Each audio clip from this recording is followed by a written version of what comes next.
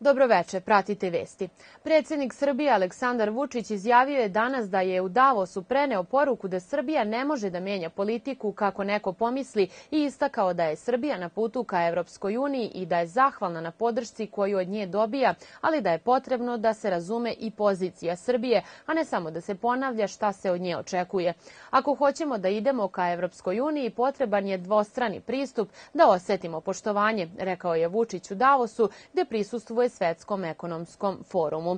Predsednik Srbije Aleksandar Vučić izjavio je da je imao niz dobrih sastanaka sa brojnim evropskim i svetskim zvaničnicima, dodajući da je iskreno i otvoreno govorio o problemima, ukazao na drugačije viđenje situacije u Bosni i Hercegovini od većine prisutnih i izneo različite stavove u odnosu na Aljbina Kurtija.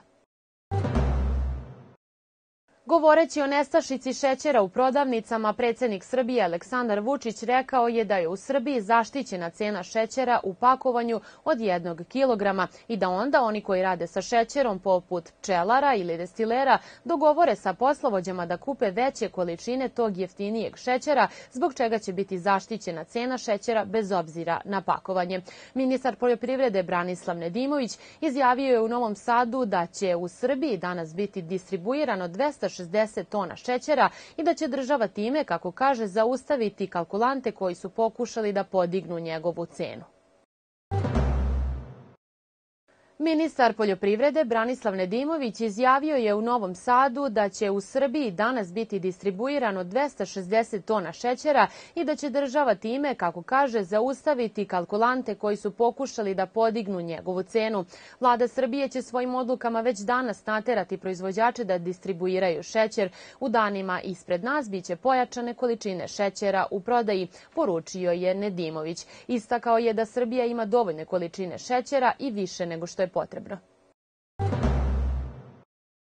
Ministar financija Siniša Mali izjavio je u Budimpešti nakon sastanka sa mađarskim ministrom spoljnih poslova i trgovine Peterom Sijatrom da je dogovoreno da Srbija u Mađarskoj tokom predstojeće zime uskladišti 500 miliona kubika gasa.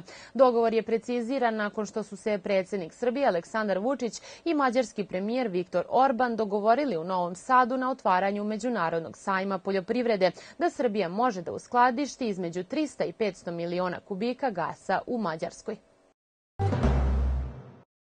Institut za javno zdravlje dr. Milan Jovanović Batut sačinio je uputstva lekarima za majmunske boginje koje će do kraja dana biti prosleđene zdravstvenim ustanovama, izjavila je danas za Tanjuk direktorka tog instituta Verica Jovanović. Batut je juče objavio epidemiološke karakteristike majmunskih boginja i prevencija u kojima je naveo da je antivirusni lek razvijen za lečenje velikih boginja licenciran za lečenje majmunskih boginja. Posle tri godine pauze u Domu kulture u Vojki osnovna škola Milan Hadžić svečano je obeležila svoj dan. Dugo očekivanom događaju prisustvovalo je preko stotinu ljudi koji su uživali u bogato pripremljenom programu za svačiji ukus. Proslava je bila posvećena našim velikim piscima i pesnicima, pa je zato moto priredbe glasio u društvu pesme i priče. Dodeljivane su i nagrade đacima koji su ostvarili značajne uspehe na takmičenjima, kao i nastavnicima koji su dali doprinos školi. Prisutne je na početku pozdravila direktorka Slavica Stošić, istakavši da ova svečanost mnogo znači i đacima i nastavnicima u školi, jer su se svi zajedno sa porodicama okupili posle toliko vremena i zasijali na sceni. Ne možemo da ne pomenemo i baku Ivanku Čobanović, koja je bila đak ove škole pre više od 80 godina i sa lakoćom izrecitovala stihove kojih se seća još iz njenih đačkih dana. Današnji datum je nekada u socijalističkoj Jugoslaviji slavljen kao Dan mladosti, poseban praznik koji je sa jedne strane smatran rođendanom Josipa Broza Tita, a s druge strane predstavljao manifestaciju opšte radosti, proslavu mladosti i optimizma. Hiljade mladih ljudi iz cele Jugoslavije učestvovalo je svake godine u nizu manifestacija vezanih za proslavu Dana mladosti. Zaštitni znak tog dana bila je čuvena štafeta mladosti. Štafeta je na put kretala mesec i po dana pred 25. maja i morala je proći kroz sve federativne jedinice Jugoslavije, nošena je od strane omladine. Prilikom proslave počasni omladinac ili omladinka štafetu su predavali Titu uz rođendanske čestitke. Ovaj praznik se i danas skromno obeležava u bivšim jugoslovenskim republikama.